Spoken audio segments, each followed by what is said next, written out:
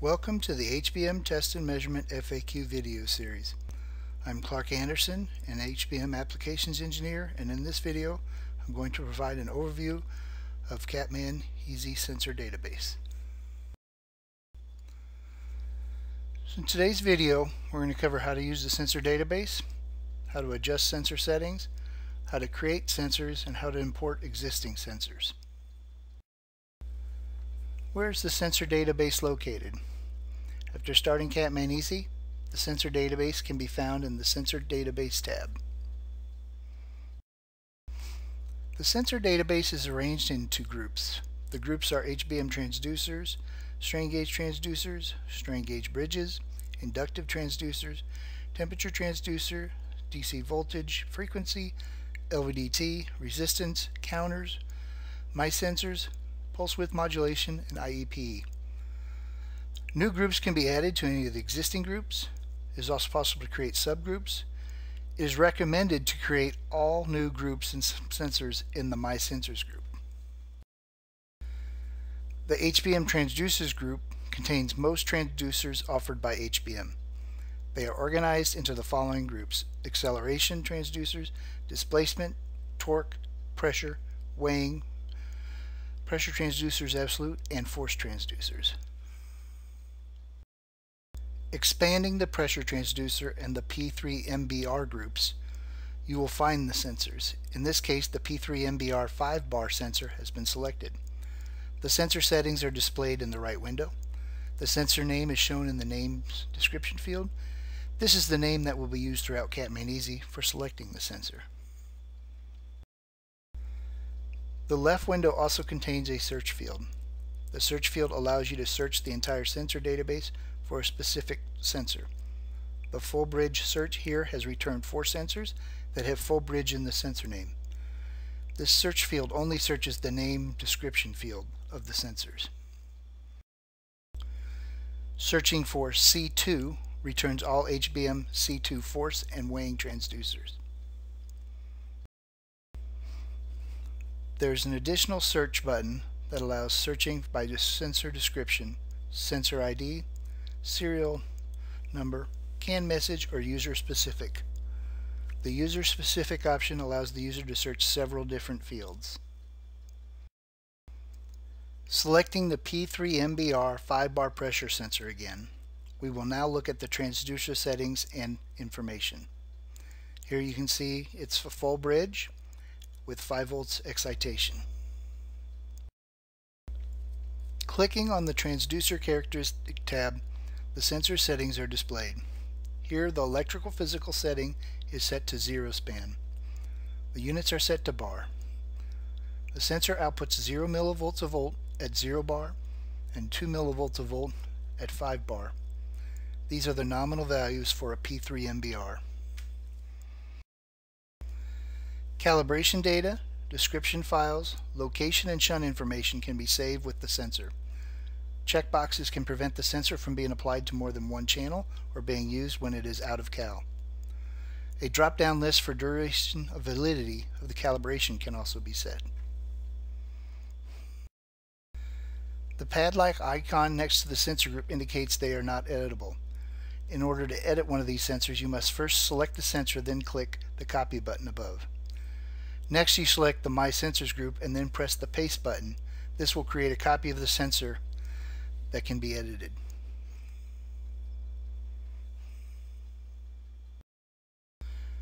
The name of the copied sensor can be changed by editing the name description field. Once you have made the change, click the Update Sensor button in the top left corner to save the changes to the sensor. The next step is to edit the transducer settings and transducer characteristic. The transducer settings for a bridge sensor include excitation value and excitation type. Here the excitation type, carrier frequency, is set to auto. The auto setting will allow the sensor to be used for amplifiers with DC or AC excitation. The options for bridge excitation are shown. If the value set is not supported by the amplifier, Catman Easy will provide a warning and adjust if it is possible. The bridge resistance can also be specified if it is known. Where do the characteristic transducer values for the adjustment come from? You can get them from a data sheet, inspection reports, or calibration certificates. So the definition of a linear gradient through two value pairs, the zero point, and then the nominal value, which is sensitivity. So you show it shows a relationship between load and output signal. When using the zero span setting, enter in the electrical and physical settings from the transducer's datasheet or calibration sheet. In this case, the axle load cell has a nominal value of 2 pounds with an output of 2 millivolts a volt. If the different engineering unit is desired, the nominal value should be converted as required. For this example, it was desired to have the engineering units of grams. The nominal value should be entered as 907.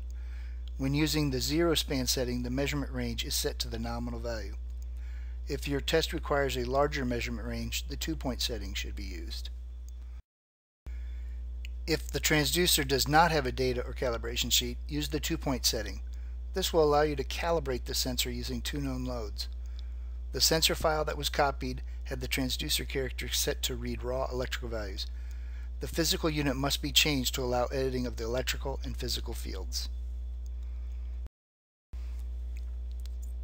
So once again, points 1 and 2 are used to define a linear gradient. Point 1 ideally would be your zero point, and point 2 would ideally be the nominal or rated value of your sensor, but they don't have to actually be those two endpoints. Since this sensor is a load cell, the desired engineering units are in pounds. Once the unit has been changed, the electrical and physical fields are editable. There are two measure buttons located next to the two electrical value fields. The measure buttons will take a measurement reading and place it in the electrical fields. The measurement options button will bring up an options window. The default setting is instantaneous value. This will take one measurement value and place it in the corresponding field. If the load cell is not steady, it may be preferred to use mean or RMS value. Typically you would take one measurement at 0% load and one at 100% load. However, you can make measurements anywhere within the measuring range. When using the two-point setting, the measuring range must also be specified. If the sensor has calibration data, these values can be entered using the tabular setting. This is a sample calibration data from a working standard calibration.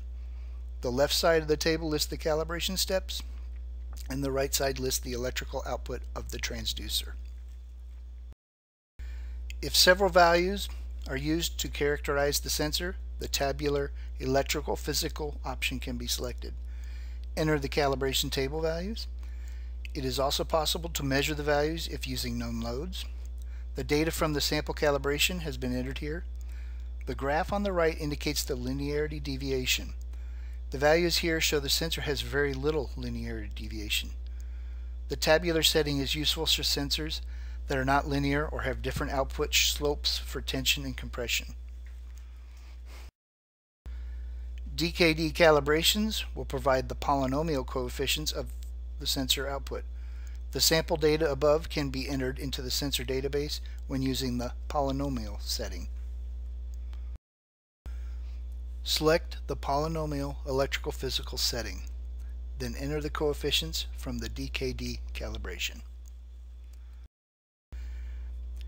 So how to add a new sensor. Adding a new sensor should be done in the My Sensors group. Click the New Sensor button, then select the type of sensor you would like to add. The new sensor is added to My Sensors group. The new sensor will have default settings and should be edited if required. If you have an existing sensor database, it can be imported into the Catman Easy Sensor database. Click on the file icon, then select Import Sensors. Browse the file location and select the file. If you have a vector CAN database, it can be imported into the CANeasy sensor database. Click File, then select Import Vector CAN Database, and browse to the file location and select the file. After importing a vector CAN database, it will appear in the sensor database groups.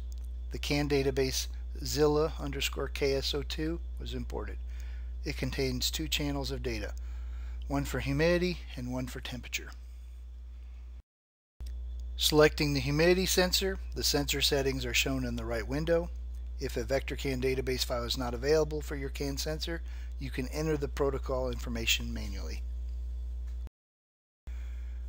Once your sensors have been added to the sensor database, all that is needed to set up an amplifier channel is to assign the sensor. The sensor can be found using the search field or manually in the sensors group. Here the axle load cell is searched using axle load.